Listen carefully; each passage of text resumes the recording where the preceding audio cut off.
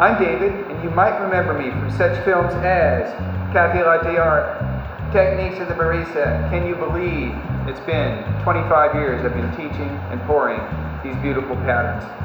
So today I'm going to tell you about the latest and greatest, everything that uh, I've learned. That won't take long. And um, my, the way I teach latte art now is I call it flow dynamics. I'm very interested in getting the right flow at the right angle and speed into the cup, and this makes these patterns absolutely beautiful. To help me, I have Teal Allen with me, a 15-year uh, Vivace barista, and also uh, our latte art trainer. I have Bradley Langdale, a very skilled three and a half year veteran with Vivace, and uh, they would like to tell you a little bit about how they're going to approach it.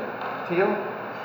Hi there. Um, well, one of the first uh, things that I talk about with uh, new students and baristi um, is is kind of the, the, essentials of how you start out the design. And the first thing is with uh, nicely textured milk and well spun um, before you start pouring, because you'll you'll run into some separation uh, problems, and it'll make it difficult for design uh, pouring.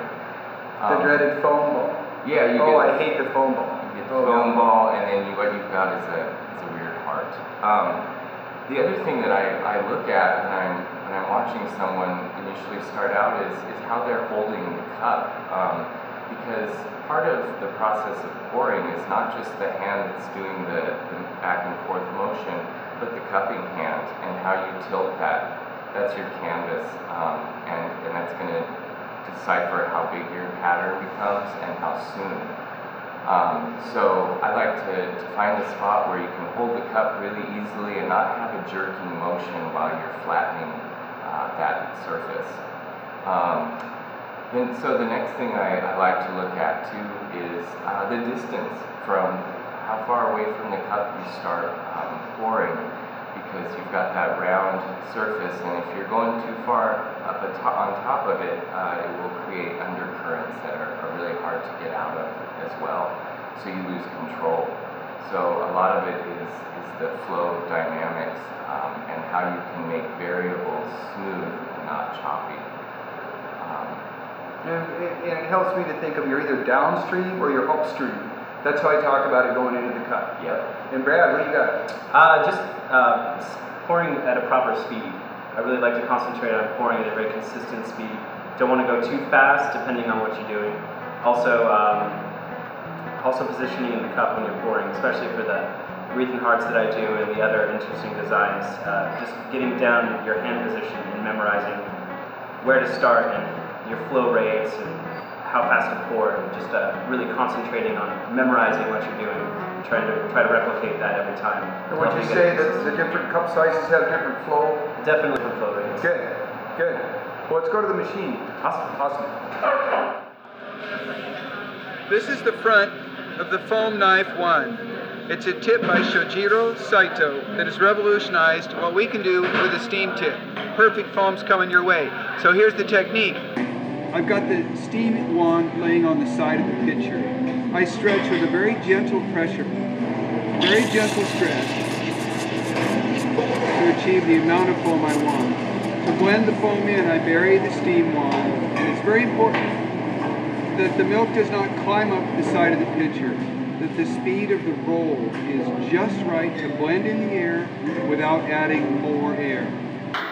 For latte, we serve at about 15 or 20 percent total expansion, which means a, a harder foam. We call it HD, high definition foam. The mouthfeel foam is the 40% expansion for cappuccino and macchiato. Here comes the spoon, doo -doo -doo here comes the spoon, and I say, it's alright. You can try that with any other tip, it's going to look quite a bit different. So for cappuccino and macchiato, I'm using the one third of a liter, which is also our training pitcher because it's the hardest. For cafe latte, which Seattleites like, I'm using two-thirds of a liter pitcher. Okay, so I'm going to show you three different pouring speeds for three different sizes of cups next. If I have a little dome in there, I'm done the shake, I need those two little bumps and then I can see if there's a foam ball. So it looks pretty good right now. And if it's too thick, I'll knock a little off the top. Okay, so the pouring speed for this is very delicate.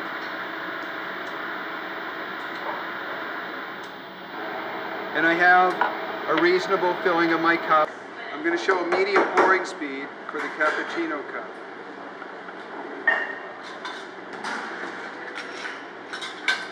To have big bubble nightmares. And back in 89 and 90 when we were first getting going, I'd have dreams of like really crappy foam. I'm not kidding you, man. Nice and fast. Nice and slow. When I do the Wreath and Heart, I kind of like to think of doing a rosetta to begin with, just on the outside of the cup. Start pouring about one third on the outside and get a nice flow going.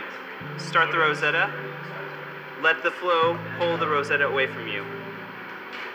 Once it starts to slow down, then you start to pull the rosetta towards you, spin it, and make a nice little heart. I'm gonna uh, tilt my cup and have a little bit of a D shape there, and I like to pour towards the middle of that D.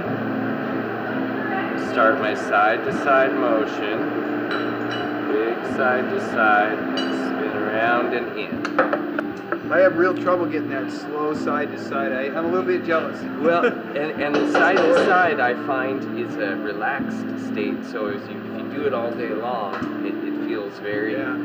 uh, natural.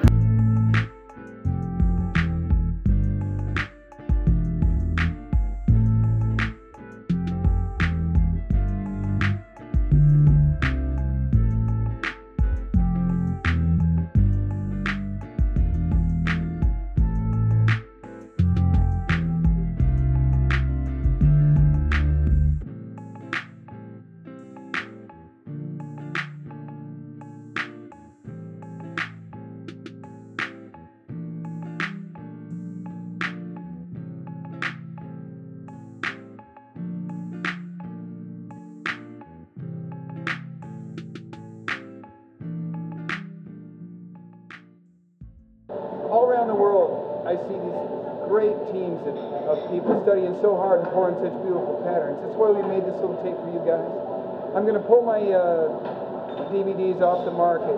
Techniques of the Barista and Cafe Latte Art are outdated, but I'm very happy that Teal and Brad and I could, could share with you uh, what we're doing right now at Vivace. See ya.